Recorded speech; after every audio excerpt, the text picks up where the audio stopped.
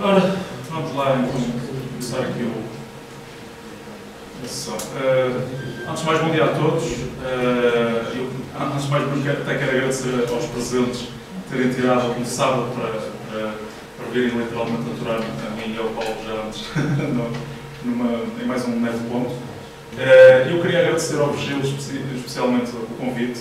o Caio já algumas vezes me tinha convidado para, para vir fazer uma sessão neto ponto, mas por várias razões de agenda, várias complicações, uh, tive, tive de sentar adiar.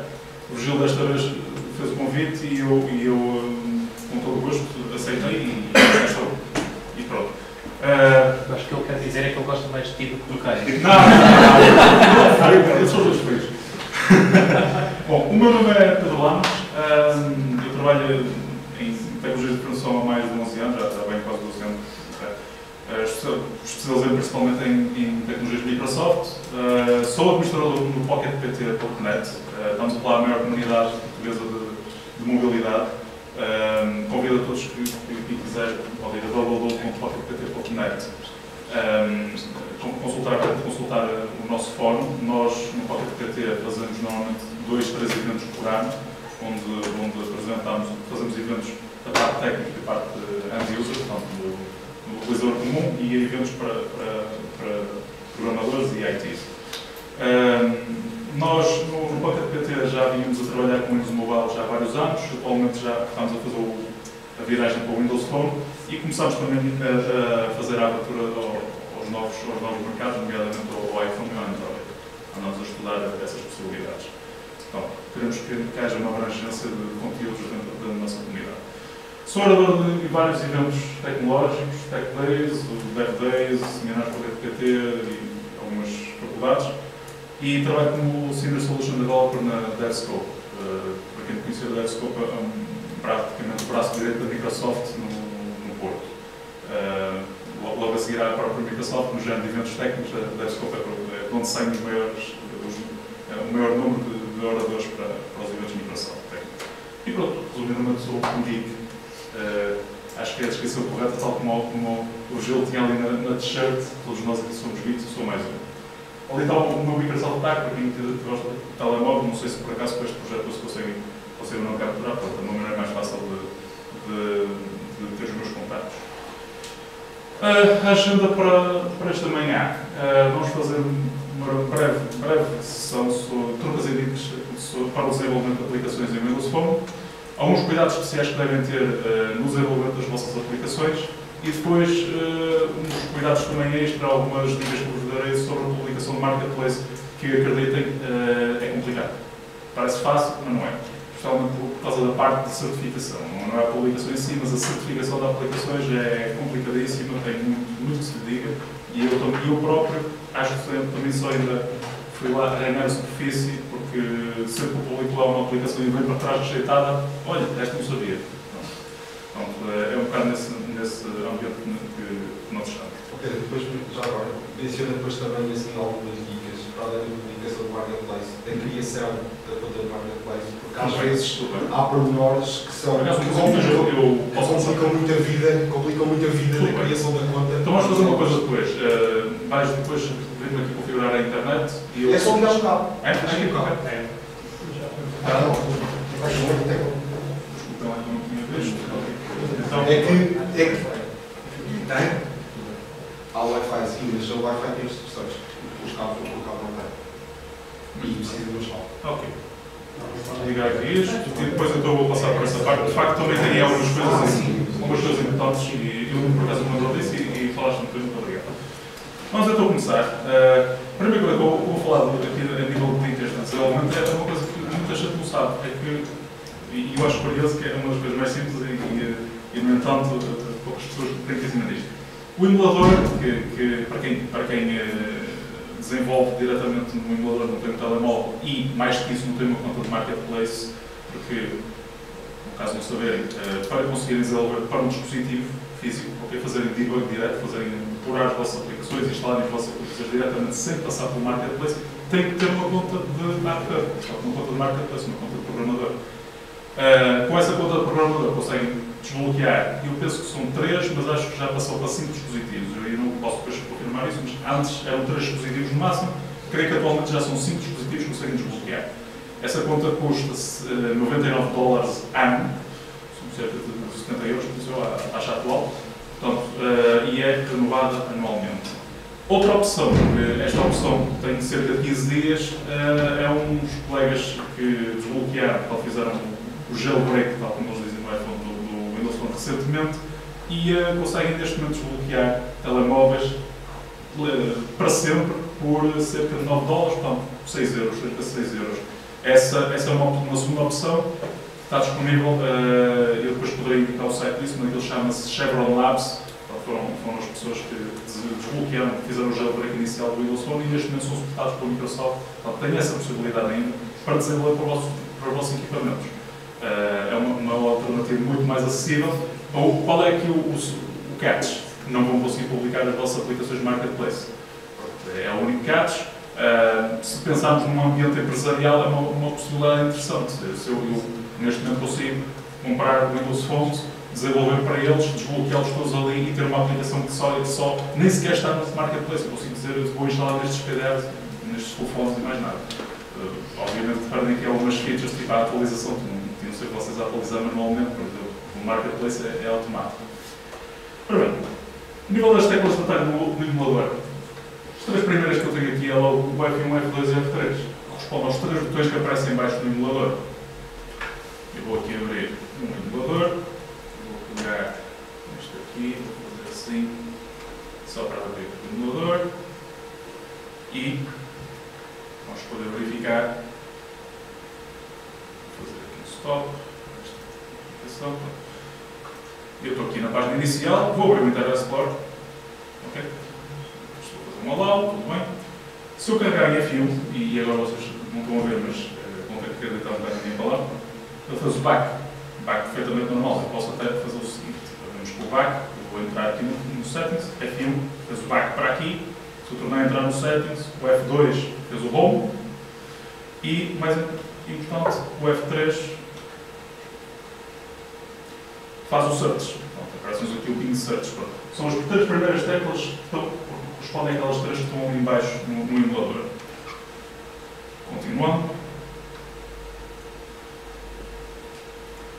F7, damos acesso à câmara. Uh, a câmara, uh, para quem já desenvolveu no Windows Phone, uh, está sempre a mandar uma pequena animação, uma animação muito, muito simples. Vamos ver aqui, F7 aparece como é a primeira utilização do emulador, ele está a pedir a autorização para dar os dados da localização. Como vê, está sempre a passar esta animação. Por exemplo, se vocês dentro da vossa aplicação utilizarem o, o, o task de, de, capture image, portanto, da utilização de câmera, vão capturar uma imagem deste género. No entanto, não vão conseguir utilizar uh, as features de, de, de, live, portanto, de câmera de, de imagem. É uma das coisas que não funciona no emulador Uh, eu espero que eles venham alterar, por exemplo, utilizar a câmara física, para já, pelo menos, é isto que nós temos. Isto é o F7.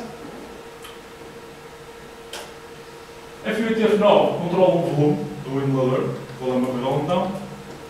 Up e page down, que estes sim, estes são os mais importantes que eu vou considerar aqui das teclas do emulador, é ativar o teclado físico e ativar o teclado virtual. Isto é uma das coisas que muitas pessoas nunca se aperceberam. Vocês conseguem utilizar o teclado físico do vosso computador. Eu vou fazer aqui um back, entrar no Internet Explorer novamente, carregar aqui. E neste momento estou com o teclado virtual do, do emulador. Então, se eu carregar aqui no teclado, não há nada. Zero. Veja. Vocês sabiam desta?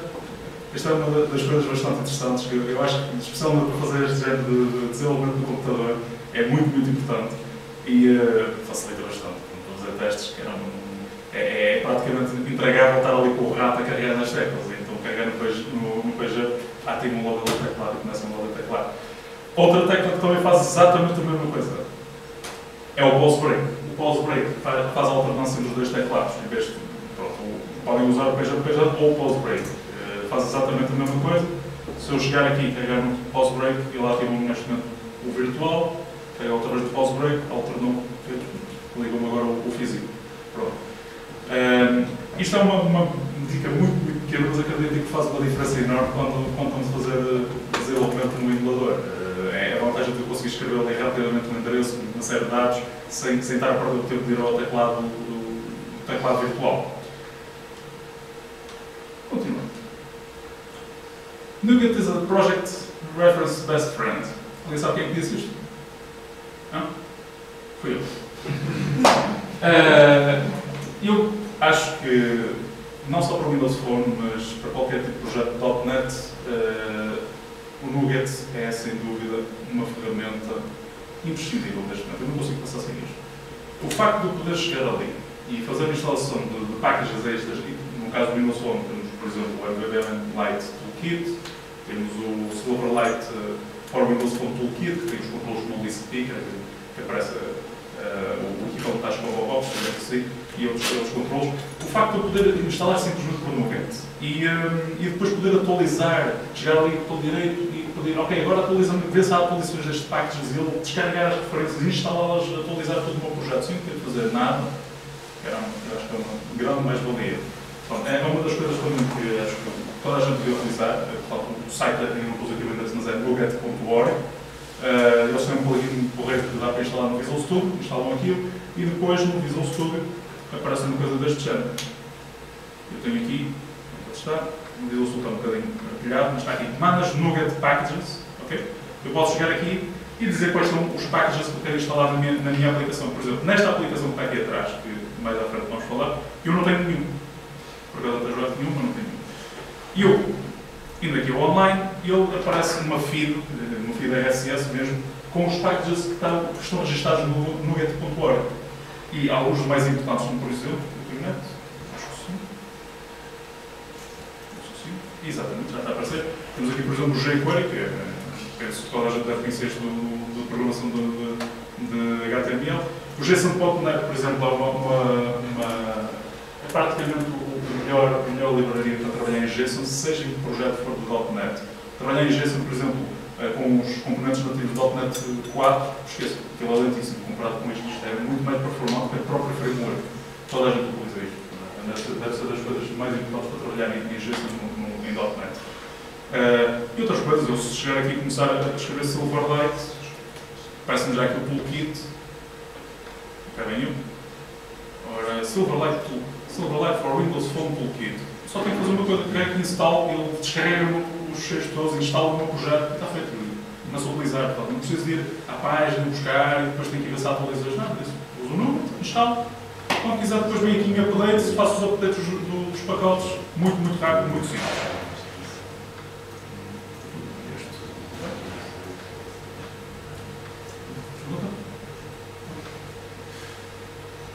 Pois, uh, outra questão, relativamente ao MVVM.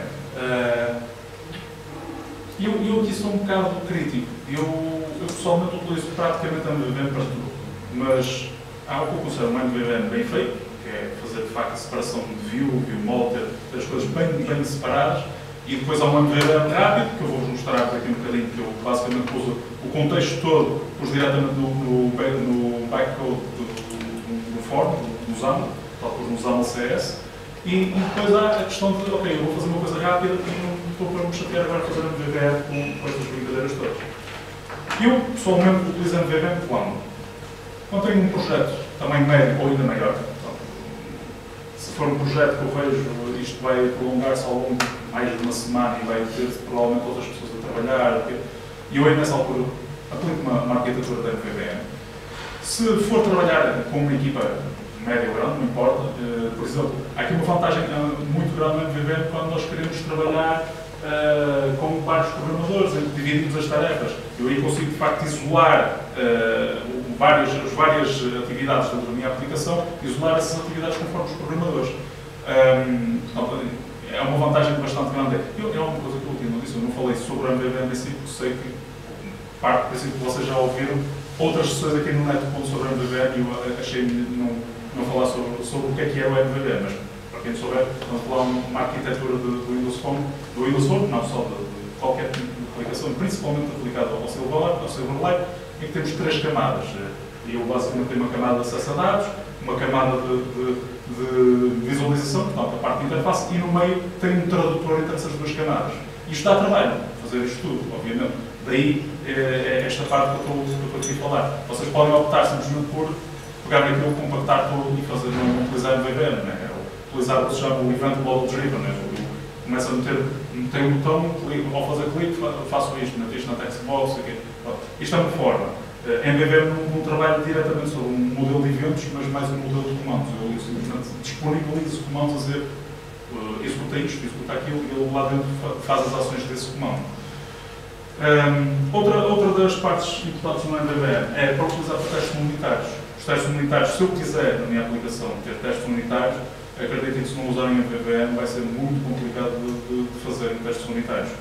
Uh, os testes comunitários, eu, portanto, eu tenho um modelo, tenho um acesso a uma base de dados, consigo uma Visual Studio criar lá um projeto a dizer, ok, agora para este componente eu quero estes testes sempre executados sempre que fizer uma compilação. Portanto, ele sempre que compilar uma nova versão daquele componente, ele vai executar os testes, vai dizer se houver algum problema, se eu alterar alguma coisa que influenciou o meu modelo ou o meu componente, uh, ele vai, vai dar um aviso a dizer, epá, calma que qualquer coisa que está aqui, de acordo com os testes, isto não está a funcionar neste momento. Isso é possível em MVVM, vai ser extremamente difícil se não usarem MVVM ou pelo menos uma arquitetura deste estilo. Uh, e outra coisa também é a possibilidade de futuras atualizações e melhoramento.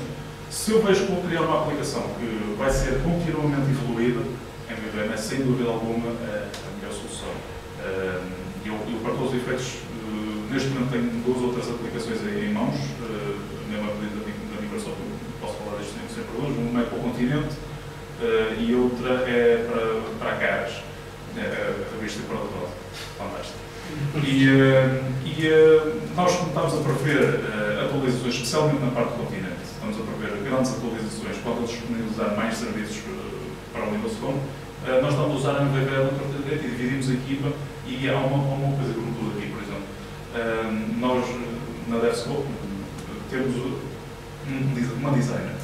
E, obviamente, que eu ao utilizar a MVVM tenho essa vantagem. Eu consigo, de facto, eu construir toda a minha aplicaçãozinha, por aquilo tudo a funcionar com o design rasca, que eu não sou designer, e pego naquilo, dou-lhe ela e ela depois reconstrói a parte de interface simplesmente sem mexer Lá está, tem a separação das camadas completa. Ela consegue pegar a camada acima, que é a camada de interface, mexer no XAML, mexe para ali à vontade, e no final aquilo vai, funcionar mesmo. Pelo menos é só fazer a ligação às camadas de baixo, e mesmo que ela não faça isso, não importa lá chegar e fazer só essa parte. Mas não tenho a preocupação de, de estar a fazer interface, consigo entregar o programa e, e mesmo ela estar a desenvolver enquanto eu estou a fazer ali a, a parte de, de, de, dados, de tratamento de dados. Eu não utilizo MVVM. Quando projeto de pequenas dimensões, eu se vejo uma coisa, uma coisa pequena, vou fazer uma coisa um, a título de exemplo, o, o, o, Paulo tem um programa que ele pôs no Marketplace de gerar widgets, uh, que tem, tem uma habilidade uh, porreira. Pronto, Uh, basicamente tem um botão onde carrego e aparece um novo widget. E eu para fazer uma aplicação desse género, eu tinha de meter um, um MVM. Quer dizer, ao clicar no botão já é um widget apresenta na cara. No final, aquilo lá a partir, estás a pensar em fazer atualizações, Paulo. Mas pronto, nesse sentido, acho só, só, se calhar fazer assim um post, de widgets, um post de widgets, toast, parecendo toast. Próxima versão vai pegar o vídeo para o Olha, por exemplo, era coisa. E depois usámos o wallback para fazer chamadas com o Guido. um, nesse sentido, não se justifica de facto estarmos a, a utilizar a MVV. Outra das situações, então, lá está, não, não tem, não tem tem modificações, não, não se justifica. Estamos a falar de coisas pequenas que vão ser desenvolvidas em dois, três dias, ou o que for. Pá, não percam tempo também. Sabe o que é over architecture? É isto. É, projetos pequenos e eu, eu pessoalmente tenho esse defeito, entre aspas, que é uh, perco muito na arquitetura de aplicações e às vezes eu próprio falo contra mim. Eu começo a ver, pá, isto está a ficar muito complicado, volta a zero, e utilizar aquilo que já sabemos, toda a gente sabe, e não, vale a pena andar a reinventar a coisa. Nesse sentido, é, é aqui estes tem uma questão até agora? Uh, passamos agora para, para a parte de desenvolvimento em si. Uh, o, Icon Menu, Iconman e o tile das aplicações do Windows Phone. Portanto, o tile estamos a falar aquele tile grande que aparece no, na parte inicial, quando falar. Isto são os tiles, ok? E isto aqui eu refiro ao Icon Menu que, que ali está. E estes dois itens, uh, o tile tem 173 por 173 e o icon tem 62 por 62. São tamanhos definidos, portanto, convém vocês, para terem a maior, máxima definição possível, utilizarem estes tamanhos. Mas o mais importante que eu ressalvo aqui é que são PNGs com alpha channel. O que, é que- o que é que eu quero dizer aqui com Alpha Channel? O Alpha Channel dá-nos a vantagem de não ser uma, se eu quiser, não ser uma transparência fixa. E eu consigo, de facto, utilizar este Alpha Channel, por exemplo, para mostrar a cor base do sistema. Vamos ver aqui um exemplo. Eu vou pegar esta aplicação, vou abrir aqui o, o. Penso que Praticamente toda a gente deve conhecer o Paint.net. É- É uma aplicação de borla para, para desenhar este tipo coisas. E eu vou criar uma imagem 173 por 173. Isto vai ser o meu. E vou fazer aqui uma coisa. Eu vou criar um, um layer em branco. Vou apagar este que tinha. Um layer totalmente transparente. E vou desenhar aqui uma, um pequeno gradient. Vou desenhar com uma cor carrida, que é para nós notarmos a diferença. Não, vou pôr amarelo. E vou pôr este amarelo também, mas com algum alvo. Isso. Pronto. E vou fazer isto.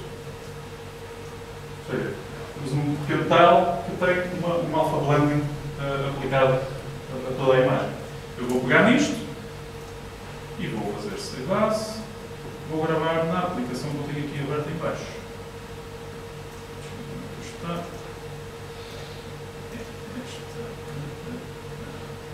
esta aqui. Vou gravar aqui dentro. Que é o background. Este a application icon que nos aparece em pequenino e eu vou dizer que quero alterar eh, o tab. Save. Yes. Dar OK. Tudo bem. Aquelas definições eu manter o alpha, o alpha channel. E agora vou fazer o seguinte. Temos aqui o emulador.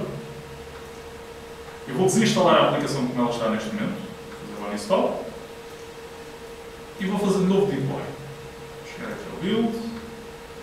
Solution. Ok, deploy sucedido. Como veem, esta imagem modificou, porque está só mudei a total, não mudei do, do menu. Repito, start. Conseguem ver aí de trás? Eu pus aquilo completamente transparente. Ok? E ali lá está o amarelo, mas ele fez a mistura para a cor que está do sistema. Pronto, eu se chegar aqui e disser, ok, eu agora quero que a cor do sistema, do meu sistema seja, não seja vermelho, seja azul. Se eu for validar, então, dá para fazer uns efeitos interessantes mesmo com alpha, com alpha blending diretamente com a cor do sistema. Isto parece uma coisa muito, muito linear, muito trivial, mas acreditem que se forem ver algumas aplicações que estão no marketplace, muitas delas utilizam este de técnicas para, para fazer as misturas de cores e, eh, e dá um efeito bastante interessante. Ah, uma coisa que eu não pus ali eh, no, no, no, meu, no, nos slides, eh, e muitas, muitas pessoas também não se percebem, é como é que removem esta descrição que está aqui. Esta descrição que está aqui não é nada mais, nada menos, e eu vou fazer novamente um uninstall para nós do que está no meu projeto, Properties. Este é o manifesto da aplicação. E cá em baixo eu tenho. Onde é que ele está? Está aqui. Esta é a descrição que ele aparece. Se eu fizer isto, no save, fizer deploy, já temos a aplicação. Reparem que tem ali o nome na mesma, porque não é aquele que está ali. Aquele nome que aparece ali, está mais em cima declarado. Não é nada. Uma isto é porreiro para se, se quiser desenhar ah, tiles, ah, que basicamente podia escrever aqui o nome da, da aplicação aqui a meio. A, título de exemplo, eu tenho uma, uma aplicação feita por mim que fez um tile exatamente nesse sentido. Onde é que ele está? É o, este aqui. E, e, e aqui. Como veem, esta aqui eu pus a descrição diretamente aqui, isto é uma das utilizações que eu tenho no, no Marketplace, e indiquei ao sistema para não colocar nada em baixo. Então, é uma outra possibilidade que tenho nos tiles eh, a fazer, é mesmo remover ali o texto, e outra é aqui a parte do autoblend. Voltamos aqui. Pedro, alguma recomendação, se quiser pôr uma imagem, como estava como estava o Internet Explorer? Tem Internet Explorer, que é o texto depois, depois tem o simples Internet Explorer. Certo. Qual é a dimensão máxima que eu posso usar nisso? Ah, eu agora não me recordo muito bem, mas tenho a ideia que eram 82, mas eu depois vou, vou verificar isso. Eu tenho a ideia que são 82 pixels, o, o interior. Tá? O, ao estar a perguntar relativamente é este interior aqui, qual, qual, é o, o normal para ter aqui? Eu tenho a ideia que são 82. Tenho a ideia que são 82. Mas eu, eu vou verificar isso e, e, eh, Eu vou é Há, há de facto uma, uma guideline nesse sentido. Uma coisa que, que ninguém se pode queixar no Windows Phone é que há guidelines de, de- de design para tornar alguma coisa. O Metro Design, eh, quem, teve, quem esteve em Lisboa recentemente num evento com a Microsoft teve a possibilidade de ouvir isso, de até duas pessoas da, da Microsoft eh, dos Estados Unidos, foi a Corinne eh, qualquer coisa, agora bem, e, o sujeito que foi com ele, agora não estou a lembrar, Arthur ou qualquer coisa. E, eh, e eles basicamente tiveram a falar sobre estas questões todas, como é que eles desenharam, e eles são responsáveis de facto do, que nós temos hoje, o Windows Phone por este aspecto. Portanto, as guidelines do Windows Phone, todos, todos os tamanhos, o, o facto de estar com estes espaçamentos, qual é, qual é a, dimensão que podemos ter ali, isto está tudo definido, está tudo na- nas, na, na documentação do Windows Phone, e por acaso essa, essa não me lembro agora, mas tinha ideia, tinha ideia que era um 82. Depois vou, vou validar isso e voltaremos aí. Continuando. Outra das coisas é a Application Bar. A Application Bar, eu pus, aqui uma imagem para, perceber melhor, são aqueles. Eu dei, tenho aqui um exemplo, uma imagem de outra aplicação minha, mas o que me interessa portanto, era, é aqueles que tens ali, fantásticos, que têm tudo que é a aplicação do Windows Phone, não há um controle Silverlight. O que é que isto quer dizer? Como não há um controle Silverlight? Uh, basicamente, aquele elemento que está ali não herda de framework elements. Todos os controles, todos os elementos que nós vemos no, no XAML, no- na parte de interface do Silverlight, uh, a herança do topo é framework element. E este não é. O que é que isso quer dizer? Quer dizer que uma das coisas é que não é bindable. Uh, não é bindable, não consigo aplicar styles, não consigo aplicar templates, todas as coisas porreiras que o Silverlight nos dá não funcionam ali, basicamente. Porquê? Isto é um controle de sistema. Uh, E eu consigo dizer simplesmente ao sistema, mete-me, coloca-me este, este botão na application bar, com este ícone, e quando eu clicar lá, executa uh, este evento. Eu quero que no evento clique faças isto. Isto é o que eu tenho de controle sobre o application bar.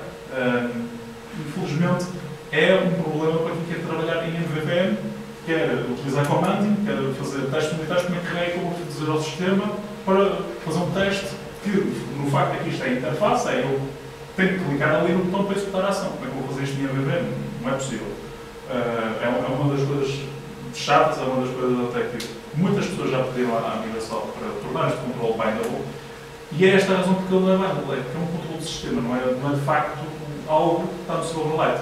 Uh, por exemplo, se forem ver ao Blend, uh, ele agora, o Blend atualmente já, já mostra, mas Blend, o- a versão inicial que vinha do Blend com o, seu- o Windows Phone SDK, não aparecia uh, a Application Bar. Vocês podem dizer, tem uma Application Bar, podem dizer, tem estes botões, e no entanto que ele punha na uma barra sem botões sem nada. O mesmo acontece no Visual Studio. O Visual Studio, em modo design, e nós podemos ver nesta aplicação que tem aqui, em modo design, eu vou fechar aqui estas barras, ok?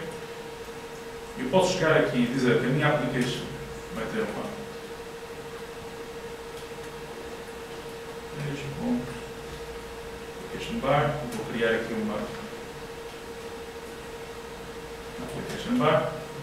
Ok? E apareceu ali embaixo, como estão a ver. Já apareceu aqui a application bar. Reparem que tem quatro espaços. E se eu começar a meter agora aqui botões,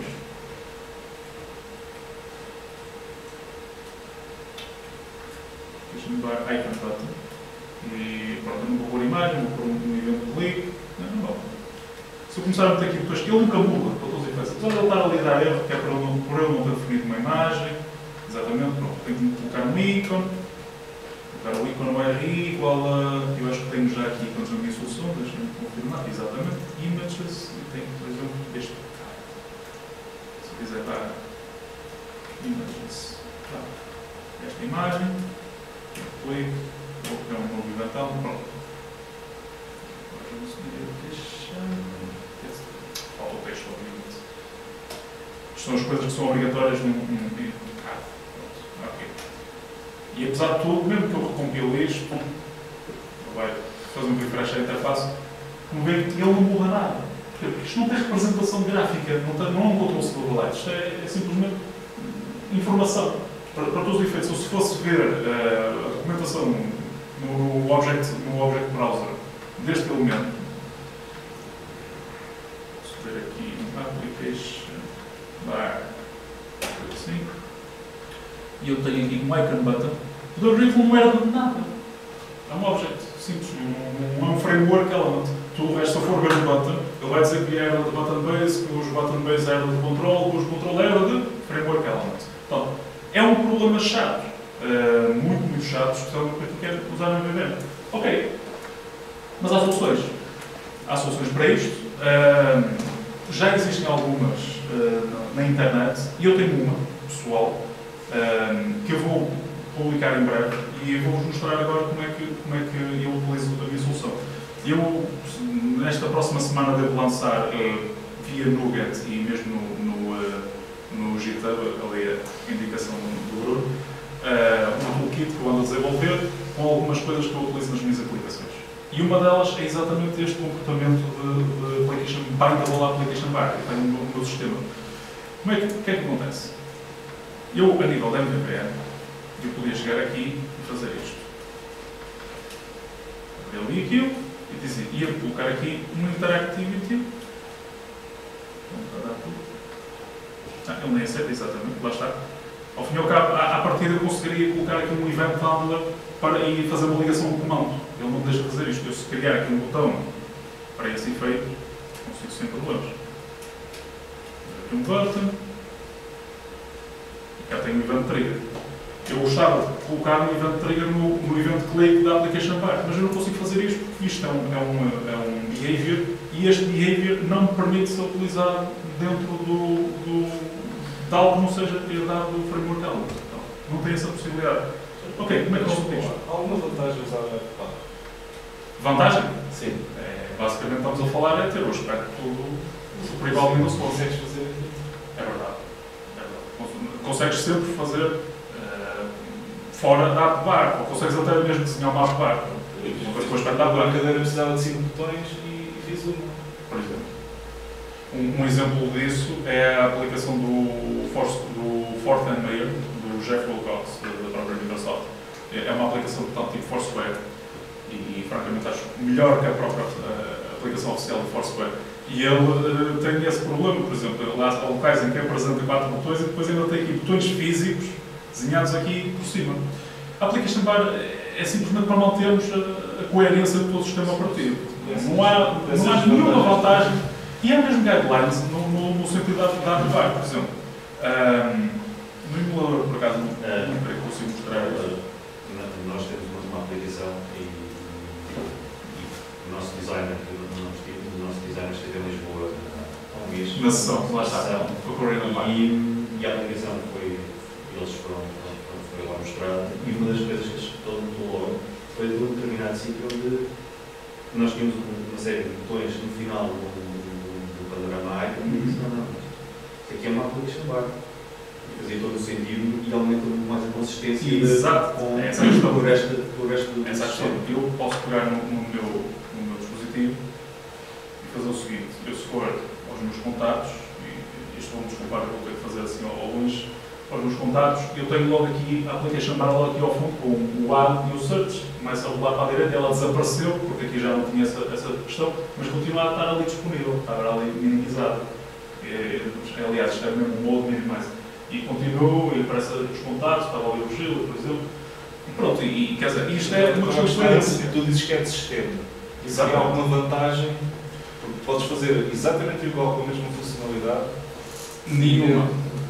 Literalmente, eh, tirando o facto de ser de sistema, não vejo nada especial. Não- Não vejo rigorosamente nada especial. Eh, todo, todo o comportamento da app bar pode ser feito, se, se uma pessoa quiser dar-se esse trabalho, eh, pode ser feito à mão, criar um controle, app bar, Silverlight, mesmo uma coisa que é da framework element, um user control, o que quiser. Então, nesse sentido, não traz nada de novo. Então, a questão é, ele existe. ok? Uh, se nós quisermos utilizar, eu, eu, sou apologista da utilização da AppBar, por consistência, ok? Um, e quisermos utilizar o MVM Lite ou o MVM, portanto, arquitetura MVM, vamos ter que ter algum trabalho para utilizar. E eu, eu vou, mostrar a minha metodologia, portanto, que eu desenvolvi para resolver estes problemas. Eu resolvi construir uma série de behaviors uh, que eu anexo diretamente ao, ao element, portanto, diretamente a este nível? E porque não à própria página e a este? Porque a página e este nível têm, hum, contextos diferentes. O que é que eu quero dizer com isto? Se eu quiser, num, num botão, uh, fazer um, anexar um comando e dizer e agora quero que envies o que está na textbox com o nome X, a este nível vocês não conseguem chegar a, esse, a essa textbox. Uh, são contextos de nomes completamente diferentes. É, nem, nem context, portanto, isto tem a ver com o seu overlay, os naming context são completamente diferentes. Então, nesse caso, eu o que eu fiz foi dizer, colocar aqui dentro. Colocar aqui dentro e resolve a questão. Eu vou fazer o seguinte, vou adicionar aqui uma referência manualmente, de algo que eu já tenho construído, que eu depois vos posso mostrar. E que está aqui, Project. Isto vai ser o tooltip que vou desenvolver em breve, vou disponibilizar em breve. Para quem não souber, o meu blog chama-se Nação Simbalim, daí o Simbalim Toolkit. E vou Source, e o interessa é só esta brincadeira, esta dela. Vou adicionar ela e vou. Primeiro que eu vou fazer é colocar já aqui uma referência àquela. Pode ser assim. E vou colocar. Ok? Quero este. Esta ligação. Pronto, criei um namespace novo a apontar para aquela dela chamada Symbol Funções. Uma coisa que eu vos quero mostrar é o seguinte. Esta é a aplicação de exemplo que eu tenho para, para demonstrar uh, esta funcionalidade. Uh, esta aplicação está feita com um multi-select list da, do, do Windows Phone, do Silverlight Toolkit uh, para o Windows Phone. Esta, esta lista multi-select tem um comportamento como a dos e-mails. É que é? Quando aparecem os e-mails, eu consigo fazer, na, na parte de e-mails, eu consigo, aparece aqui as checkboxes para selecionar vários itens ao mesmo tempo. Portanto, eu estou a utilizar um controle que existe no Silverlight para o Windows Phone Toolkit que simula de facto esta lista, em vez de dar a list box normal. Consigo assim picar vários elementos e depois, imaginando, o comportamento que eu quero aqui é criar elementos, poder selecioná-los e apagá-los. É só isto que eu quero. Esta é a demonstração que eu vou fazer.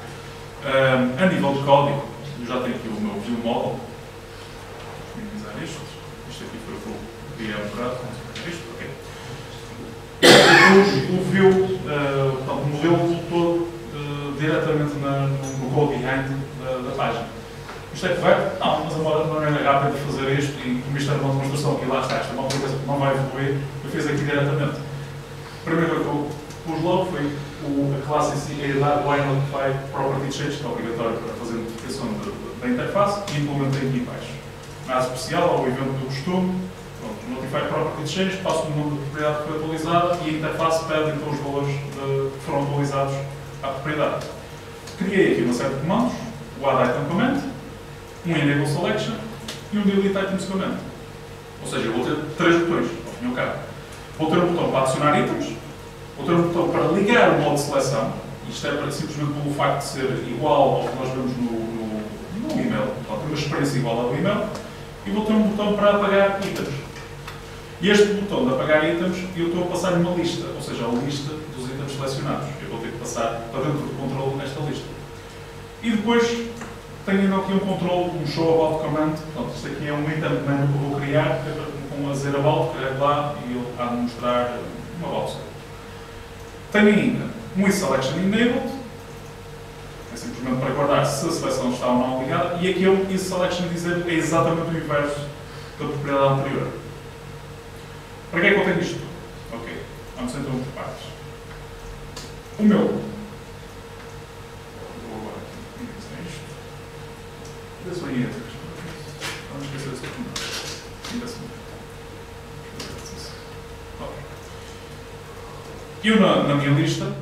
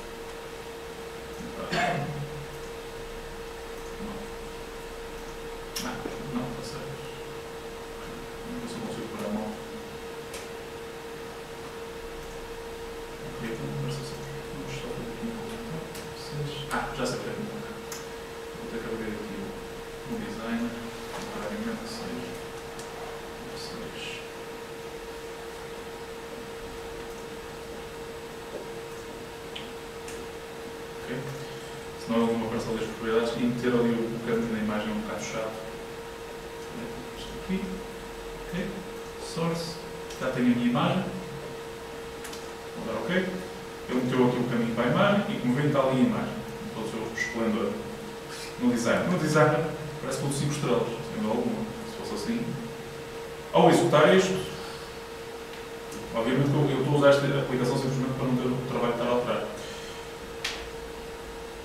Eu não sei se consegue ver bem. E atrás, mas nota-se aqui banding. Chama-se isto banding. Portanto, ficou ali os traços horríveis na aplicação. Isto não, quando queremos trabalhar, são com aplicações de, de fotos, de imagens, por exemplo, ah, isto vai ficar horrível. Não, não tem nexo nenhum estar a, estar a ver fotos. Eu, se quiser fazer uma aplicação que utiliza a câmera e estar a ver isto, isto não, não tem nexo nenhum. Como é que eu resolvo isto? Eu resolvo isto simplesmente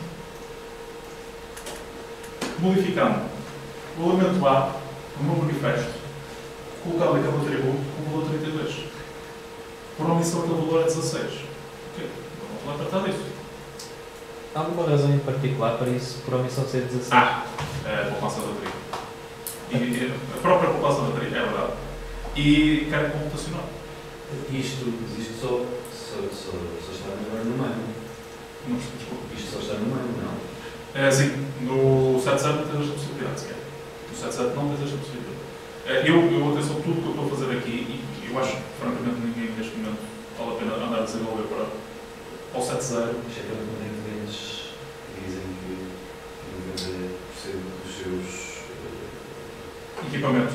dos equipos. Não, ou seja, no meu caso, nós, Uhum. nós fazemos desenvolvimento para, para o externo. É? Certo. Eh, e eles dizem que, que as estatísticas que eles têm do, do acesso ao serviço dizem-nos que 90% está com o novo ou anteriores. É, neste momento, é o, a base posso dizer que já vai em 50%.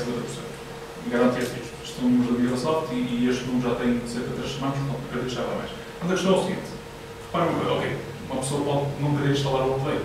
De acordo, tem essa questão. Não pode dizer que não soube que havia um update. Porquê? Porque no, no facto, no momento em que liga ao wireless, tem pacote de dados, ou liga ao computador, vai aparecer o aviso a dizer há aqui um update disponível. No caso de dizer assim, ah, tudo bem, mas eu tenho pessoas que utilizam o Windows Phone, eh, mas não têm pacote de dados, não utilizam a internet daquilo. Primeiro ponto, eu acho isso um bocado contraproducente. Mas, é- mas é- essa possibilidade, eh, há pessoas que pronto, não utilizam wireless, não querem net, têm medo, não sei o que, querem que só para usar pelo telefone. Essas pessoas não instalam coisas, ao fim e ao cabo. Portanto, não temos este problema. Porque, quer dizer, eu estou a desenvolver aplicações que vou publicar no Marketplace para as pessoas instalarem. Para quem eu me vou preocupar com esse pessoal que não instala coisas, não é? Estão a perceber aqui a questão? Bom, eu percebo essa, essa, essa questão. Eu acho que, eh, eu, e francamente, não o que é que leva uma pessoa a não atualizar o seu telefone. Ponto, ainda percebo as alterações, com as 500 pressupostos, mas eh, acredito que sejam de facto 500 alterações que mantém e, e já vi uma lista de pelo menos 200 a 50 e eh, pronto. Nesse sentido, eu, eu percebo o que está a dizer. Acho que se as pessoas estão a instalar coisas no marketplace, vão de facto fazer o update, o telefone vai-lhes avisar e acho que não custa nada ligar ao, ao computador, um bocadinho lento, ok, demora um bocadinho, mas o, o resultado final, E já, já experimentou o mando, já todas as operadoras e dispositivos já? Sim, neste momento já. Neste momento acho que não falta nenhum. Ah, O único que faltava era na Alemanha, eu já não lembro qual operadora que era, e era para o, para o Mi 7, mas está aqui, era o último que faltava e já, até esse já entrou. No. E ainda eu estava a dizer, 32 bits per pixel, F5, vamos lá ver o que é que nos saiu aqui. Espetáculo. O banding desapareceu. No emulador, porreiro. Posso que, por exemplo, nestes equipamentos eh, Omni, ok? O Omni tem um ecrã AMO- AMOLED, portanto, Super AMOLED, eh, não são LCDs, não têm 32 bits de cor. Ok? O que é que ele faz? Utiliza um esquema de dithering, portanto, internamente eh, está optimizado nesse sentido. Não sei se foi a Samsung que fez isso, foi só para o sistema operativo, mas não interessa, o facto é que fica bem porque acaba por fazer dithering da imagem. Portanto, acaba por sempre ter um- uma imagem devidamente realista, não, não temos uma perda por aí fora, e depois se quiserem posso fazer de playback e mostro-vos este mesmo programa, como é que fica aqui neste telemóvel, para, para verem o efeito. É melhor que ter lá os riscos horizontais, ok? Eh, e eu pessoalmente utilizo e não, não noto grande diferença. Portanto, não, não tem 32 bits estes equipamentos, penso que são. eh, eu agora não me recordo muito bem, mas é menos. É, não, estes AMOLEDs são menos, são menos bits e aí então eles fazem dithering. Internamente não precisamos sequer nos preocupar com isso. O facto de eu pôr ali aquilo é o suficiente para ele emular os 32 bits, né? entre aspas, nestes equipamentos. Já, já agora, só, uma questão. Hum. Eu, eu não tenho, não tenho reparado. mas o- Este problema também já está resolvido nas, nas imagens que estavam no, Marketplace. De quê? De banda?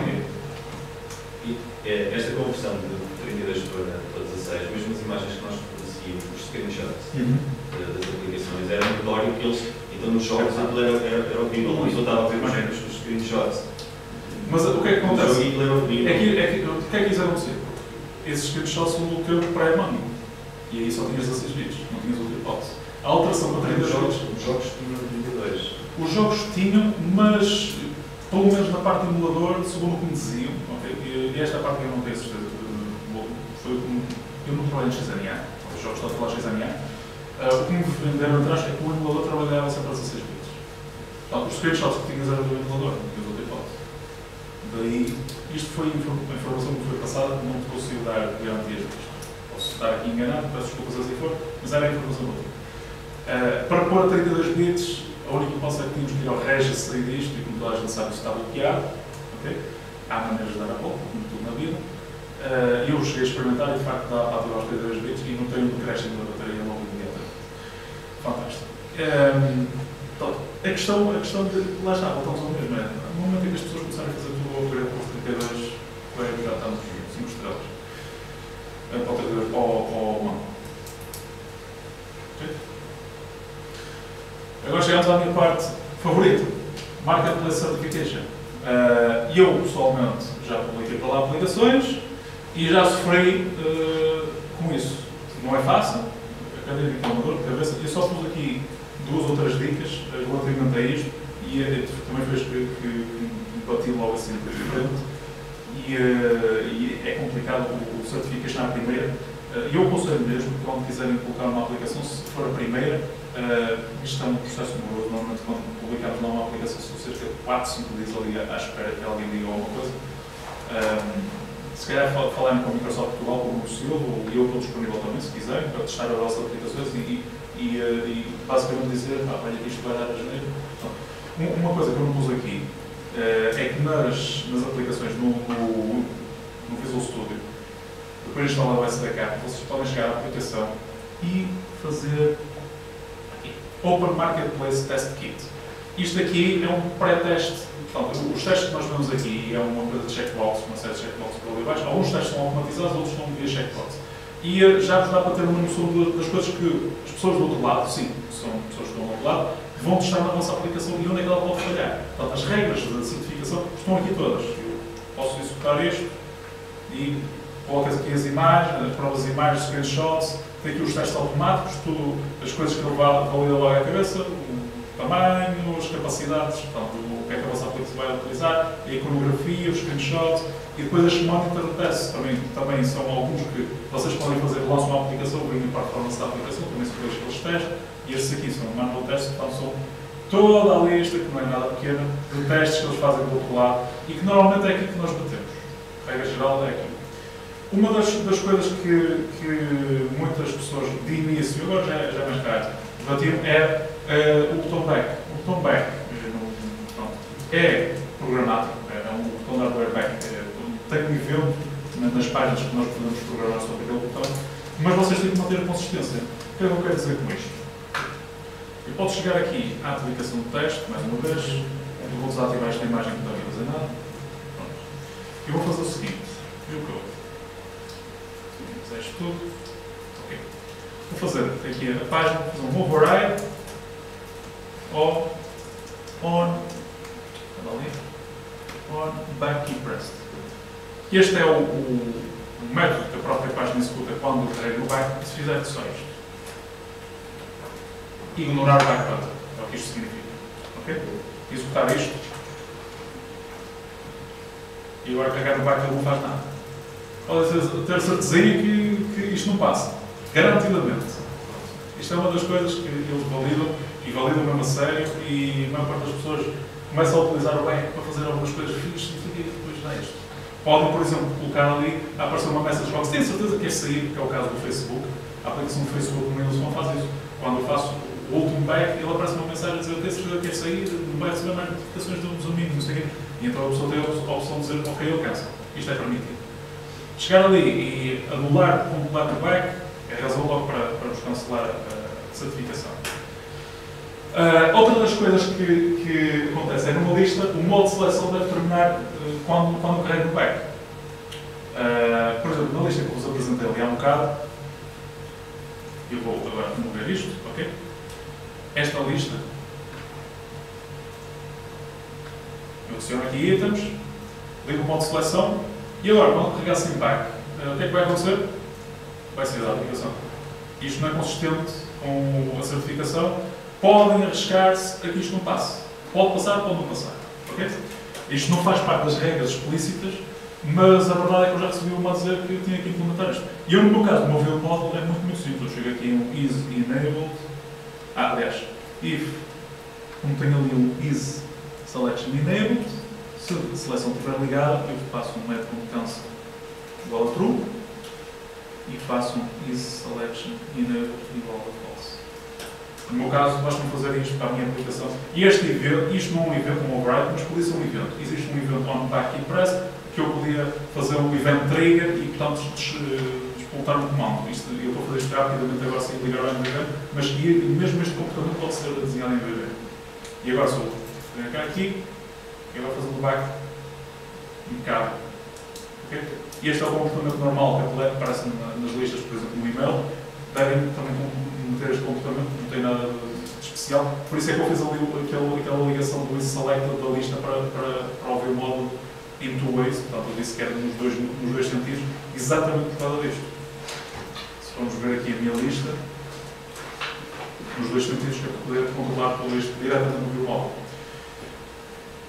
Isto é um dos comportamentos que tem de ter muito, muito cuidado na, na certificação. Outra coisa, cuidado com a localização. Eu aqui eh, tive um gosto extremamente amargo, já por duas vezes que bati de frente com a certificação. Primeira coisa que devem verificar é este atributo. Se vocês estão a dizer uma aplicação que é em português, digam que é português.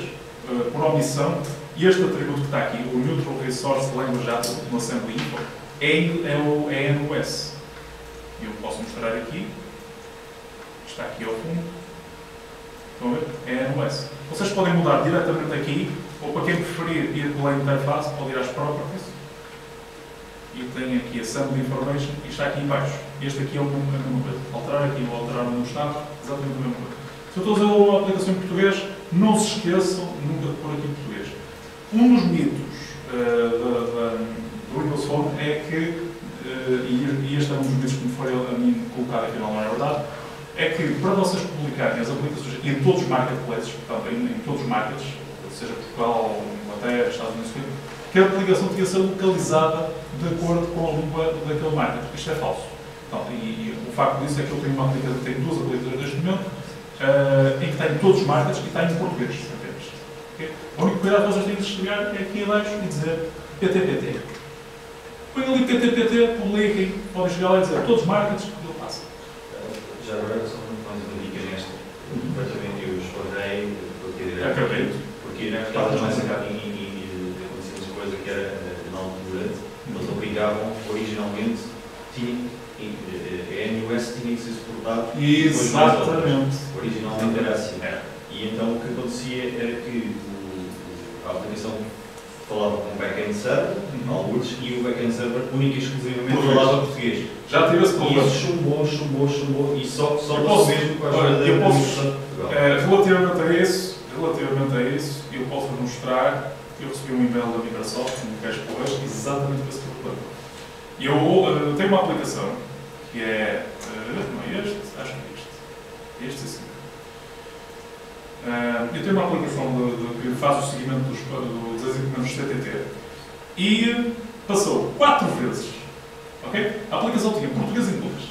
Por- exatamente pelo facto de disseste agora que inicialmente eles obrigavam a ter inglês. Passou quatro vezes. A quarta vez que passou, eu recebo este e-mail fantástico.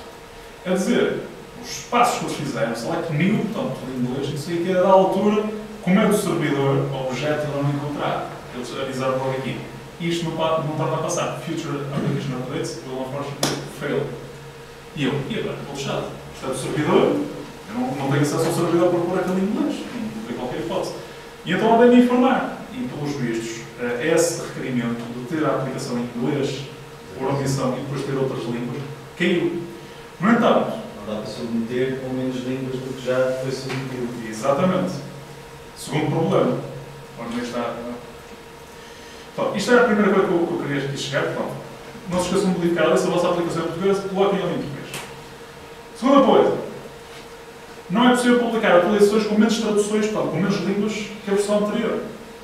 Não é posso. Eh, aqui eu escolhi. Eu, como tinha a minha aplicação eh, com inglês default, com promissão, e português como opcional, eu fui cheio de lance publicar uma só em português e ele aparece uma mensagem de toda catita do próprio submit, portanto aquilo nem, se- nem chega à certificação, a dizer que não é possível submeter isto. Solução, não há. Falei com a Microsoft, eh, o que eu fiz foi despubliquei, portanto, coloquei a aplicação antiga invisível, vou em breve lançar uma atualização com as duas línguas e vou bloquear aquilo de alguma maneira. Fazer uma martelada a dizer se quiserem continuar a utilizar isto, por favor, instalem-se esta, que a partir de agora vou só pôr em português. Que aí leva a esta questão aqui. Ah, as traduções devem ser colocadas no CS Project ah, dentro do, do Item Supported Cultures. Então, o que é que acontece? A minha aplicação neste momento diz que é NOS. Se eu começasse a cometer traduções nisto, eu tinha que ir ao próprio CS Project, que é o fecheiro que está aberto, não existe isto na interface. A maneira mais fácil de fazer isto é fazer o unload do project, aqui em baixo, unload project, descarregou tudo, e agora consigo fazer um edit direto. E aqui, supported culture, se eu fosse ter português, fazia isto.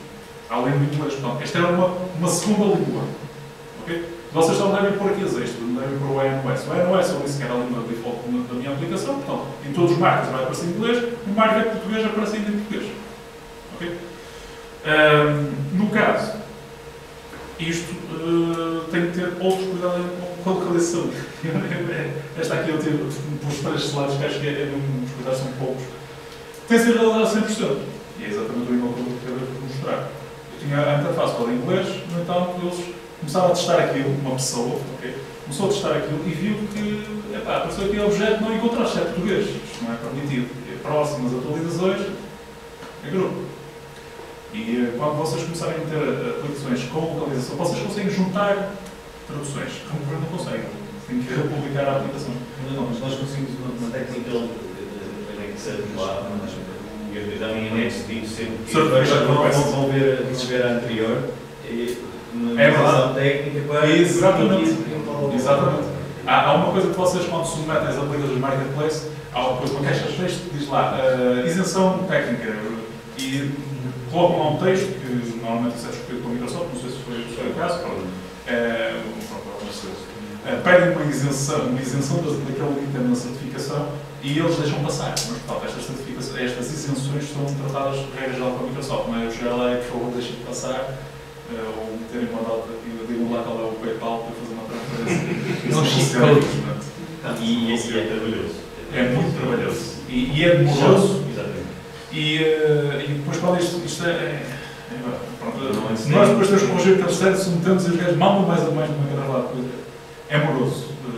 Depois das duas vezes, primeiras, três vezes, tal, a coisa começa a alinhar. Mas lá está, eu tinha submetido aquela aplicação. Os quatro updates, a quarta update eles mandam aquele fantástico e-mail.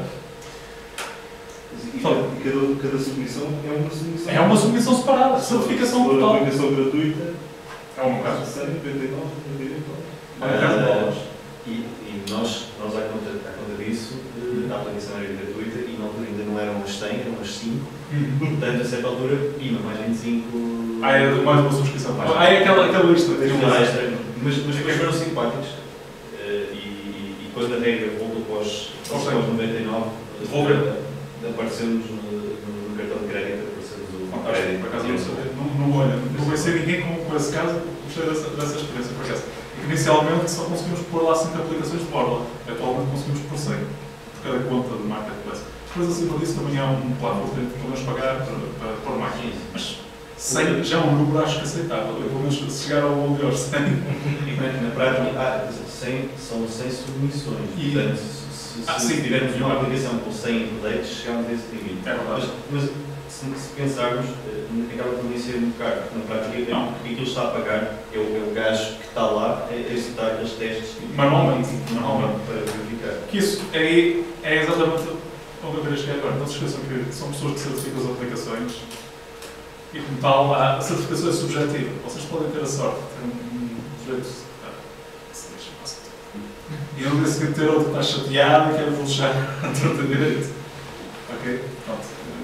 Eh, É muito subjetivo e o meu caso é exatamente esse. Ahm, Eu tive essa experiência, passou quatro vezes, a quarta vez apareceu um mês que fui testar aquela porcaria toda e viu, epá, isto não tem inglês. E o facto de aparecer ali aquele itemzinho do nada em, em português foi o suficiente para ele avisar e pôr lá red flag naquela, naquela versão que próxima vez que ele submeter a este, não se esqueçam de testar este. É assim que funciona. Então ficou red flag lá. E pronto, mas eu criei uma nova e, eliminei aquela, o red flag desapareceu ficou uma nova. Questões? Pedro, já agora mais uma coisa eh, que eu não sei se tu me sabes dizer ou se te lembras disso. Eh, o, Marketplace Test Kit faz algum teste tendo em conta que um dos testes que era feito do lado de lá é quando o dispositivo tem muito menos memória do que aquilo que é suposto. O, o, o, O é assim, Test Kit faz. O teste tipo não faz isso, mas há aqui uma coisa, ele faz os testes de performance. Eu vou fazer aqui o reload do projeto. Yes, não quero gravar. E se formos ver aqui, no Marketplace Test Kit, o segundo item, a o terceiro item, o Monitor Tests, é o tempo de lançamento, ah, o topo de memória de utilização, ah, o fecho da aplicação e a utilização do back button, que está o, o hiper mega fixe back button. Um, e estes testes são semi-automáticos, portanto, eu ao carregar ele vai iniciar a aplicação, vai estar a monitorizar, portanto, usa o Performance Monitor que agora vem com o, o SDK, e, eh, e no final que se passou ou não, porque há tempos, ele está a ver os tempos disto tudo. Se, eh, por exemplo, a aplicação vai lançar, eu já me recordo, mas acho que eram 10 segundos. Ok. Mas ah, estes tempos estão todos documentados, e este, este bloco aqui vai fazer esses testes, e estes testes são os que executam também do lado de lá. Ok? Não há grande, grande margem de manobra. É porque eles tinham esse, eles tinham esse teste e, esse era um teste que não se sabia bem que É existia verdade. e normalmente a malta batia contra ele É havia pessoal a Houve, houve duas coisas logo, duas, especialmente de início, que, que se bateu muito. Uma foi o button. A maior parte das coisas, por exemplo, o próprio, o próprio Silverlight Toolkit desenvolvido pela Microsoft bateu na certificação. Reparem bem, a Microsoft em si bateu na sua própria certificação. A certifi- esta- este processo de certificação não é a Microsoft que os faz, eles contrataram uma, uma empresa de certeza para fazer isto. Provavelmente indianos. É, é o normal.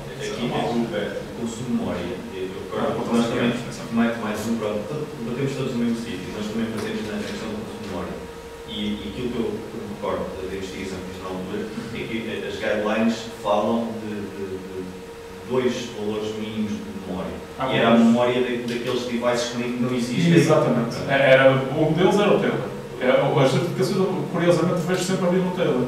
O Taylor é, é o, o dispositivo OEM que nunca esteve à venda, é o Samsung Taylor, e outro é o Asus, que vemos muitas vezes do, do Nuno Silva, por exemplo, que eu já utilizei aquele Asus. São dois dos equipamentos que eles certificam com eles, não estão muito à venda, não existe lá e não E- temos para experimentar. No, no nosso caso, nós fizemos uma coisa que fez com que passássemos numa certificação e que nunca acontece, que é que a aplicação tem um, um panorama, tem um background bastante grande. Certo? E então nós fizemos uma validação muito simples no, no, no, no array da aplicação. Vamos ver quanta memória é que o device tem.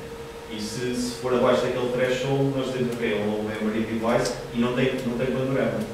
Na prática, Ou ou não tem padrão, não tem background. não tem background do panorama. E, e aquilo poupa logo os, os A ideia é lentes. É que era uma questão importante. O, panorama, o controle de panorama, eh, ele não é virtualizado, ou seja, ele carrega tudo. Então, o panorama, eles eh, aconselham a que tenha no máximo, isto são design guidelines, já não são de, de development, os design guidelines dizem no, máximo 5 painéis, enquanto que nos pivots eles dizem, não, à vontade, exato, é isso. E eh, para todos os efeitos, quer dizer, se aquilo não é virtualizado, se está tudo carregado, se eu tiver listas em todos esses painéis, vai ser um bocado natural. Eu tenho aqui a aplicação teste de, que nós estamos a desenvolver para caras e essa tem os pedidos cinco painéis, mas o quinto painel é um painel de detalhes para outros, para sub- subpages. Portanto, eh, são, é tudo páginas de listas. Portanto, e essas listas são virtualizadas elas próprias, ok, de acordo? Mas em vez de estarmos a juntar ainda mais painéis com mais opções, ok, nós colocamos um, um, um quinto painel é três itens, acho que são três itens, salvo calhando não aparece um único texto com, com o que deveria estar no painel, mas cumprindo as design guidelines e ao mesmo tempo minimizando a memória que passa a dar aí chatices. Portanto, é outra, outra das questões importantes. O pivot já não tem esse problema, o pivot carrega sempre o item anterior, o item seguinte e o atual. Tem sempre três itens preloaded. É e aquilo é virtualizado. Todos os outros itens ele vai carregar on demand, on demand ao, ao rodar, carrega o anterior, carrega o seguinte e o atual. Sempre assim. É, é assim o funcionamento do pivot. O panorama está tudo carregado. E é, deve ser os controles que mais memória gasta, sem dúvida alguma. Um, houve, houve um, um controle Apple Kit, por exemplo, que está com um memory leak gigante, estável. Agora, esta última versão acho que já, já corrigiu isso, uh, do Jeff, que é o, o menu, portanto, o, o, simples, o simples menu que nós vemos quando aparece aqui. Este menu, este comportamento deste menu não, está implementado no SDK base, nós temos que ir buscar o Silverlight para o Windows Phone Toolkit, tem lá este menu, a versão atual está corrigida, as versões anteriores tinha aqui um memory leak gigantesco, ok, aplicações a bater por causa disto. Eh, um me- um que eu sinto bastante que é o Next Gen Reader, que é um, um reader da RSS e, e que eu utilizo muito. Um, foi um dos que bateu e depois eu falei com o programador e disse que foi exatamente este problema. Então, mesmo estes controles que são fora do SDK, nós temos que ter muito cuidado com, com o memory leak, que mais tarde mais aquilo pode bater. E, e o que é que acontece? Quando uma aplicação vai abaixo, quando o sistema operativo uh, a mata, uh, é enviado um, um stack, stack, stack trace desse, desse erro, desse gestor, é enviado para a vossa conta, vocês têm acesso a, a esse stack trace. É bastante detalhado, dá, dá para vermos de facto o que é que se passou. E, uh, mas ao mesmo tempo, a acumulação de, de erros ali na vossa aplicação, na vossa conta, mais tarde mais cedo vai, vai disputar uma red flag para, para o pessoal da Microsoft saber o que é que se passa aqui com esta aplicação. E, vai ser recertificada, como foi a minha, e recebe-se um e-mailzinho catita a dizer com, cuidado a próxima vez que vai passar, que isto vai ser testado fortemente. Tenho muito, muito cuidado com, com, estas, com, estas, com estas coisas. Mais questões? Não? Bom, assim sendo, eh, eu a única referência vou deixar aqui é o meu próprio blog. E eu, eh, uma, uma das coisas que eu, que eu falei atrás é o Nuget, o Nuget é nuget.org utilizem aquilo, não, vivam sem aquilo, respirem Nuget. E, e outra coisa, eu quando tiver o toolkit online com, com eh, aquele guia de application bar, por exemplo, e outras coisas, mas aquela especialmente acho que é uma pérola fantástica, eh, e vou publicar neste blog eh, e, eh, e fazer publicação também no Twitter, é isso. E aconselho quem quiser experimentar, comentar e ajudar mesmo, porque ele vai estar no sítio, portanto, todas, todas as coisas que têm a comentar e mesmo a ajudar naquilo serão, são sempre bem-vindas. Os patrocinadores desta, desta reunião, vocês já viram? Pessoal fixe. Próximas reuniões, uh, que seria agora vai em dezembro uh, de 17, na pontos. Obrigado, espero que tenham gostado.